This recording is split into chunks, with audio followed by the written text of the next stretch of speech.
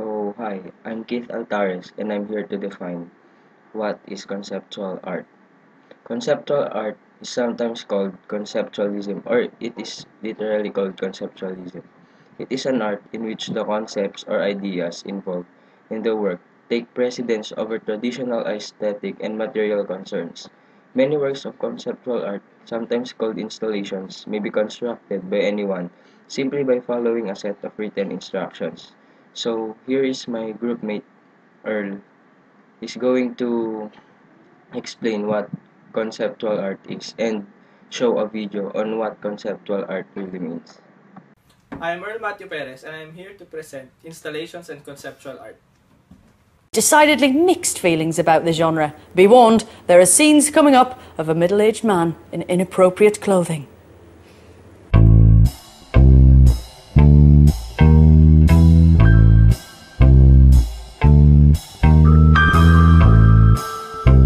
Once upon a time, art was easy to recognise. It was usually in a frame. Paint was involved. It was this, this, and this. Stuff your ancestors could identify, and usually beautiful to look at. Then, overnight, one man turned everything on its head. Or, at least, at a 90 degree angle. Is it a urinal? Is it a work of art? Well, the whole world of modern art was revolutionised when Marcel Duchamp decided that it was, indeed, a work of art.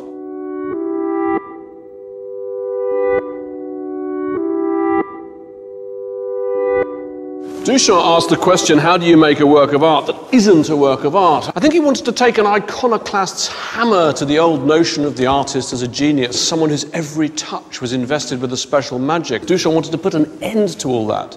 And for him, to nominate ordinary mass-produced objects, snow shovel, a bottle rack, a urinal, a coat hook, the notion that anything could be a work of art is probably the single biggest art idea of the whole 20th century. A real light bulb moment. Which reminds me, how does a conceptual artist change a light bulb? He calls it a work of art. Of course, that wasn't a joke, that was actually a living sculpture. Who better to ask about his eureka moment than Duchamp himself? The fact that he died in 1968 is no obstacle to a conceptual interview. Can one say that the the act of selecting an object is enough to turn it into a work of art? One can. It should be completely impersonal. Because if you introduce the choice or the idea of choice, meaning you introduce, it means that you introduce your taste. And taste is the great enemy of art, A-R-T. Hmm? So did you choose a urinal precisely because of its lack of um, so-called artistic value? That was the difficulty, to find an object that had no attraction whatsoever from, from the uh, aesthetic angle. There's no denying that without Marcel Duchamp, there'd have been no Warhol, no Jeff Koons, no Damien Hirst, no Tracey Emin. In fact, pretty much every Turner Prize winning artist of the last 20 years has been indebted to him in one way or another. Depending on your point of view, Duchamp either opened up a whole new debate about art that's still vibrant and fresh today, or he unleashed a monster. As well as all that, he played tournament chess for over 40 years. Always one move ahead. So was Marcel Duchamp one of the great artistic revolutionaries, or was he simply a very ingenious prankster? Well, people divide.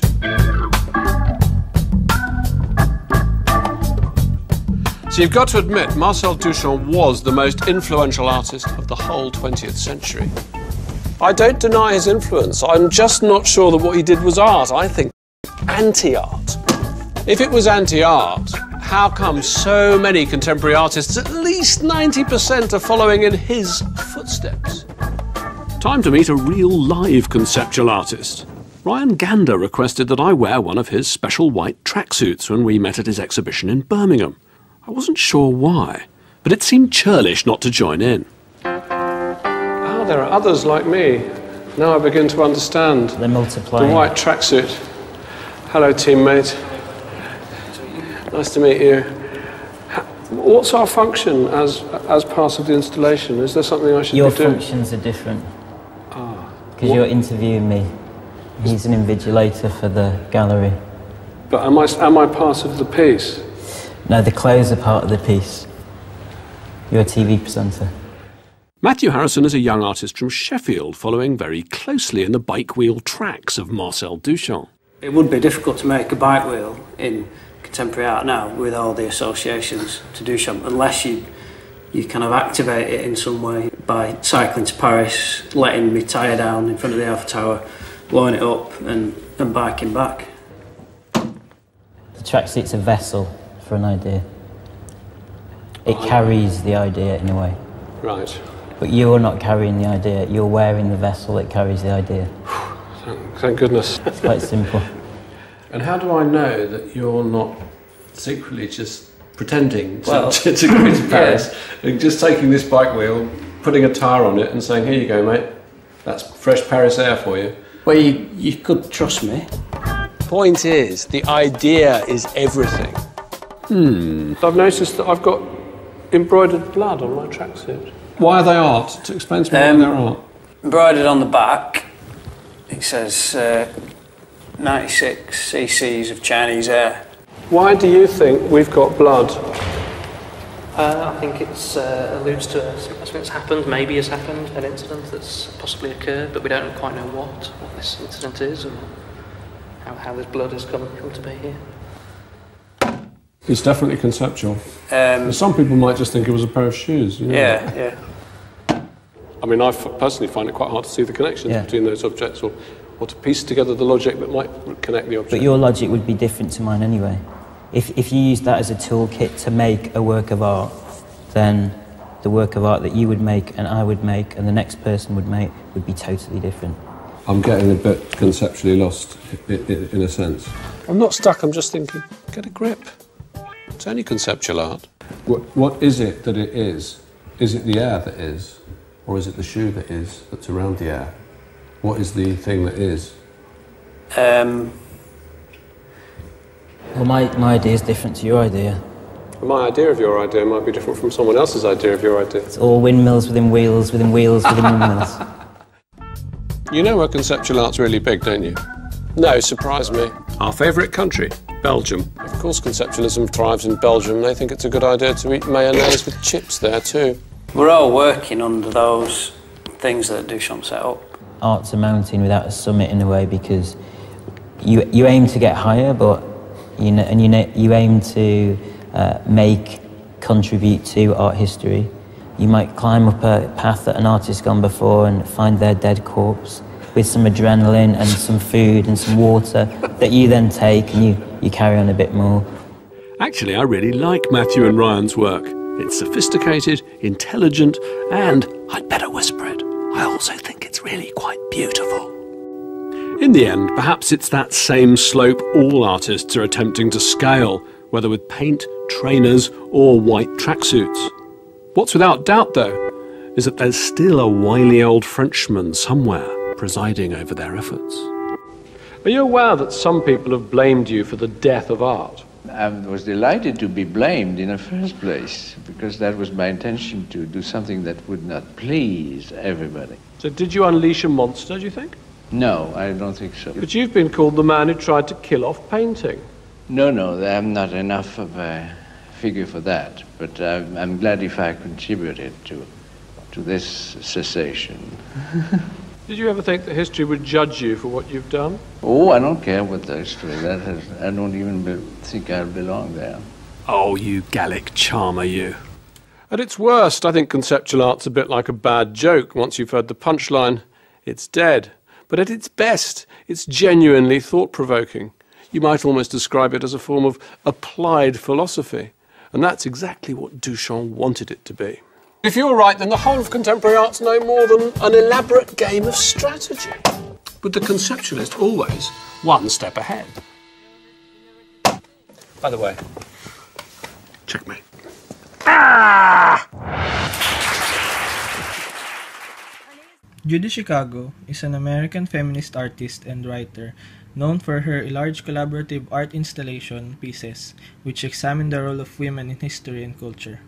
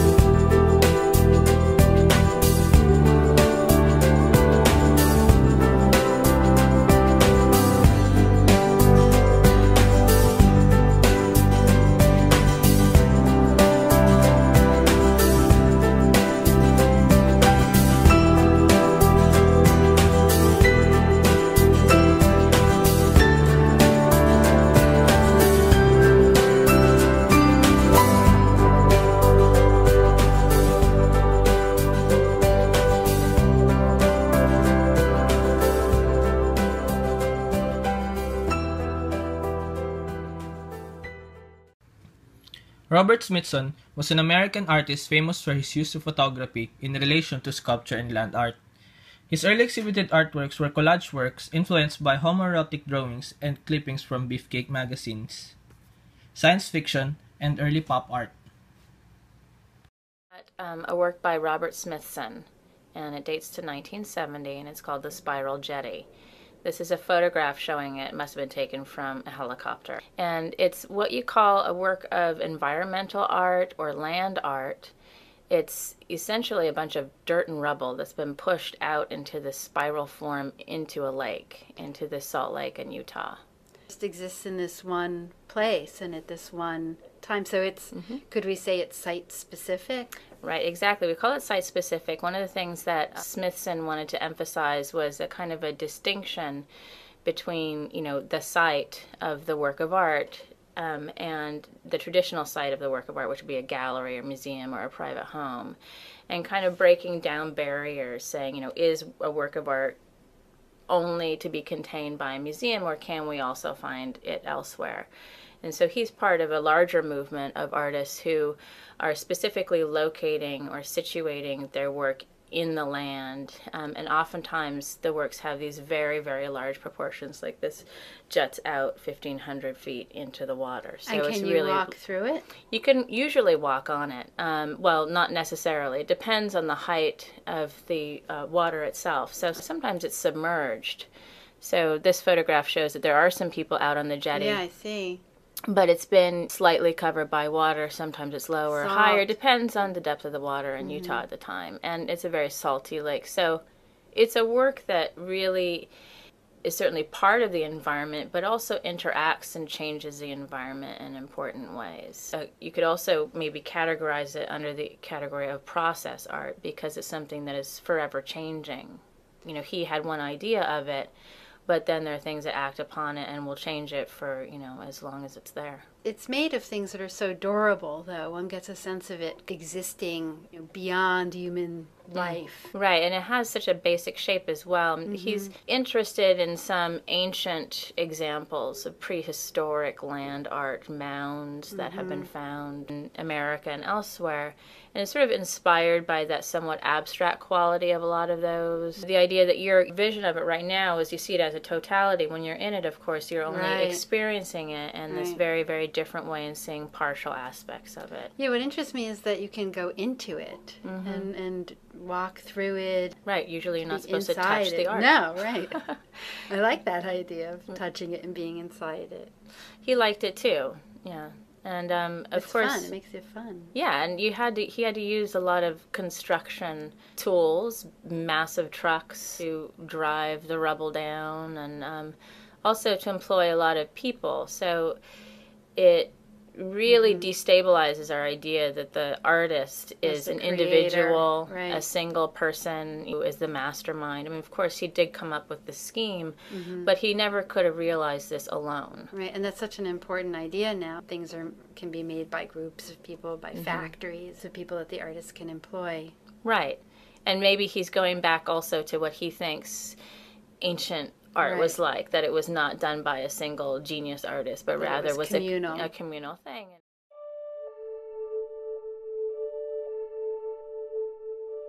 I was fervently working since early 68 on a project called Wrapped Coast. And desperately we said to John, John, please try to find something. We'll be very, very happy. This is how everything started physical visualizing the work is so important. I cut out the uh, image of the rocks formation, I put the plastic, and I start to draw shadow with the black wax crayon. But you see, I see too much of the landscape. By seeing too much the elements, I lose the, all the sculptural shades of the material we created because it's too, they're too pronounced, too visible. The fabric is the principal material to tra translate the nomadic quality of the work. The Wrapped Coast have a one and a half million square feet of fabric. We enfolding the fabric, the ropes was enfolding, like a net of ropes was enfolding simultaneously to, to secure the, the, the materials. The water come, and there are a lot of movement. We need to secure the rocks on these very slicky rocks. And one of these slicky rocks, I slept. The entire right shoulder come here. And I run to the hospital, and the doctor in hospital put it back the shoulder, and he was saying, I rubbed the shoulder of Christo. and I was with like that.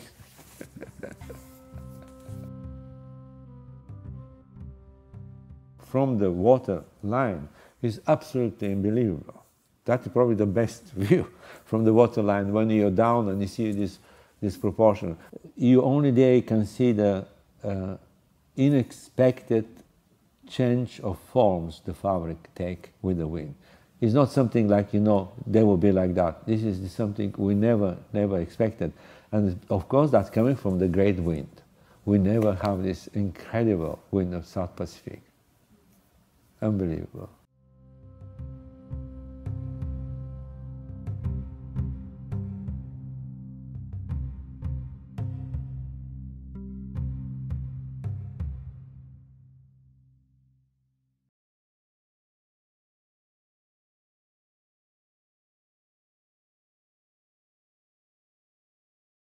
Here is a fence that is 18 feet high and 24 and a half miles long.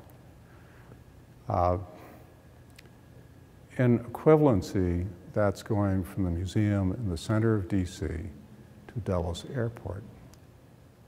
If somebody can get the idea of the monumentality, the thinking big, th these people are not thinking small, then they get the idea?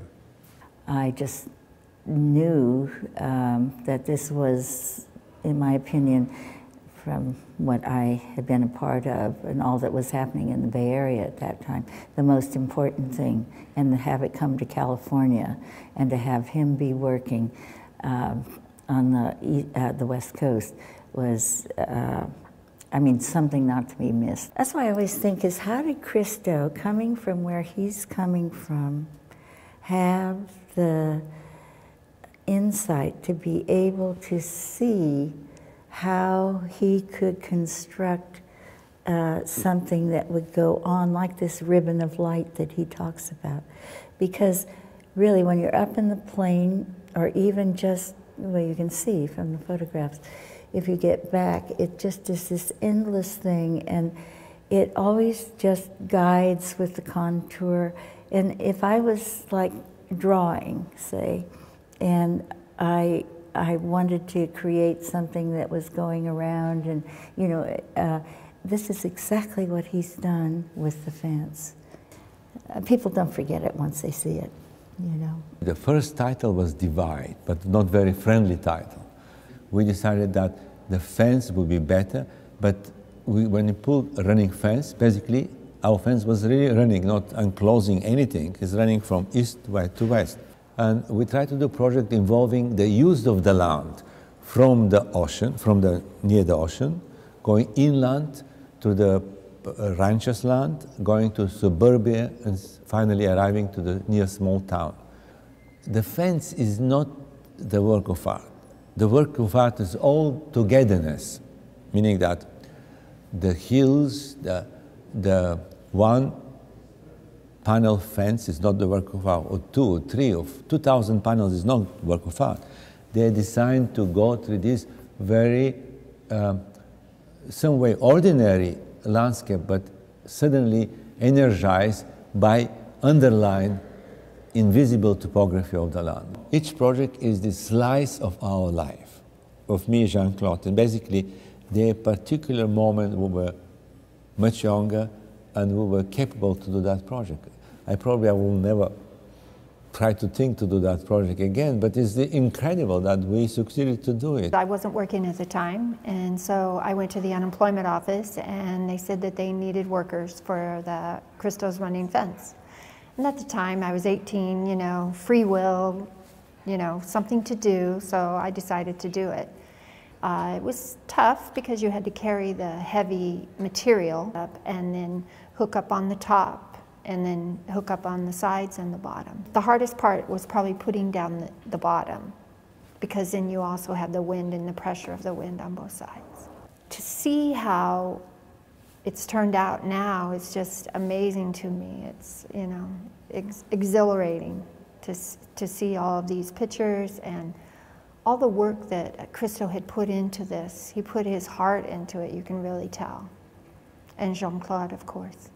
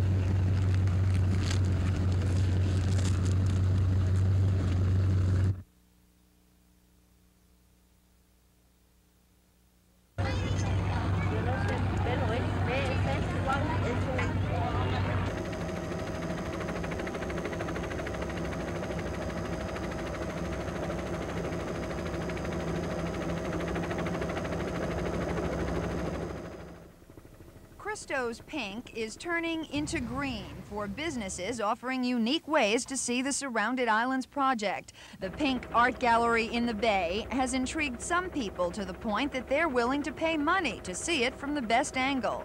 Barbara Goldstein, a tourist from New York, chose a bird's eye view. This afternoon, she spent $35 for a 10-minute airborne tour. I don't know whether it's art and I don't care, but I thought it was just great. Is it worth the $35? For sure. I'd do it again in a minute. Since Friday, this Miami helicopter company has taken more than 1,000 people on Christo rides, and that means big bucks. How much money do you think you've made so far? I don't know, probably about 30,000. And the Christo craze also means dollars for sightseeing boats like the Island Queen, which is offering Christo cruises. It's successful. It's been real good to us. Uh, it's a very slow time of the year, and uh, it's just been real great. And just how much money will the Surrounded Islands project mean for the artist himself? Well, Christo says, not one cent. I'm losing $3,150,000, but I have the project. That is most important. Christo raised the 3.1 million for the project through a $700,000 bank loan and by selling preliminary drawings like this one. The original reportedly sold for $10,000. Christo says he won't be making any money on all of this because he will not sell any photo rights to the Surrounded Islands project and he has no financial interest in Christo souvenirs. I don't like to be involved with any commercial venture because I keep I like to keep my credibility very high and very pure. Robin Carter, Channel 4 News. It's amazing. But people don't understand if they would read better.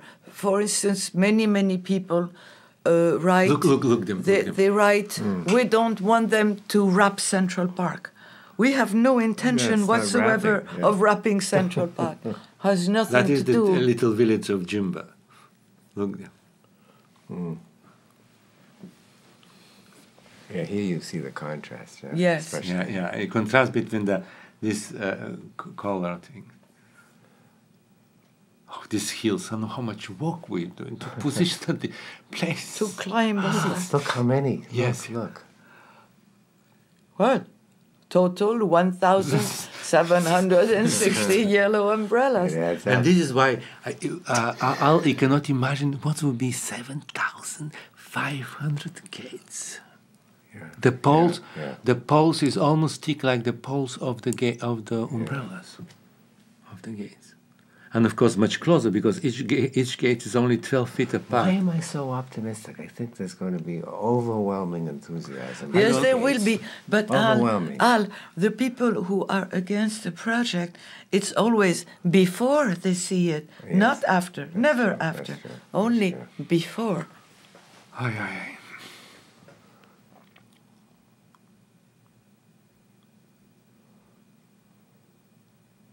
This beautiful footage here. Also, you have to be there to to understand it. Okay. Yeah. Okay. But but if you're not there, you, you are there when you see the film. Exactly. See? This is, you know, the film is incredible. And for